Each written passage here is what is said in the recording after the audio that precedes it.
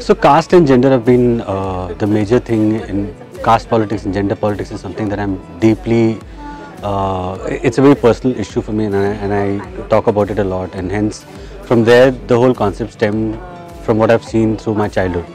I've seen how uh, in families the get-togethers happen and everybody's progressive, everybody is talking about modern values and liberal values and you know having uh, talk of feminism but yet you will see that people, the men are sitting in the living room and the women will inadvertently find the kitchen and they'll squeeze into the kitchen and have uh, talk about it.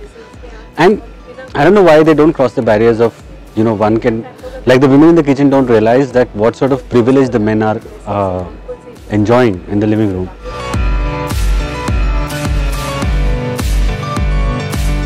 Well, uh, telling a story succinctly is challenging at the same time extremely uh, liberating, I would say, because it gives you that sort of uh, discipline because you're, you know, you're curtailed by budgets, you're curtailed by time, you're curtailed by, you know, availability of actors and the kind of actors that you want.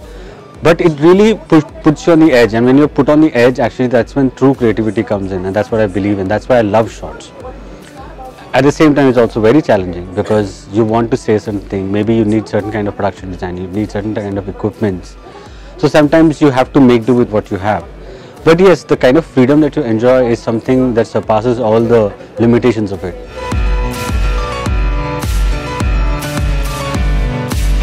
At Jio MAMI it was a terrific terrific experience because I didn't realize that people will be so moved. I had people questions. They actually found me on Facebook and they were inboxing me questions about you know you you said so many things in a short time and uh, I don't know how it was possible. You didn't say a lot but yet you said so many things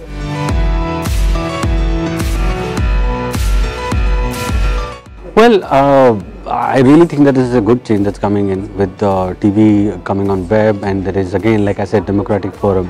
Where you're not bound by uh, censorship. We are not bound by any kind of themes that you should you know stop making because it's it's uh, it, it's curated by age and uh, geography. So i think it gives you that freedom.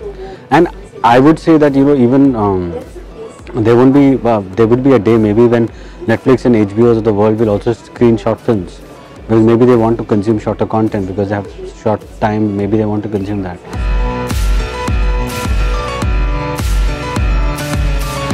I do. I actually watch a lot of Netflix and Amazon myself. Black Mirror is my favorite uh, TV series on Netflix. Right now, I'm very hooked to Mindhunter.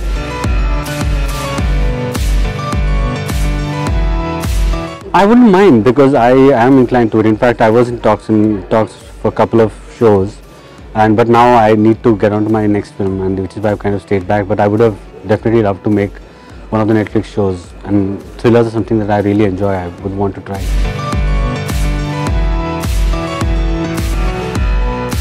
There was this short film by Somnath uh, Pal. It was an animated film and uh, it's about death and it really moved me. For all the latest updates in web entertainment, log on to thedigitalhash.com.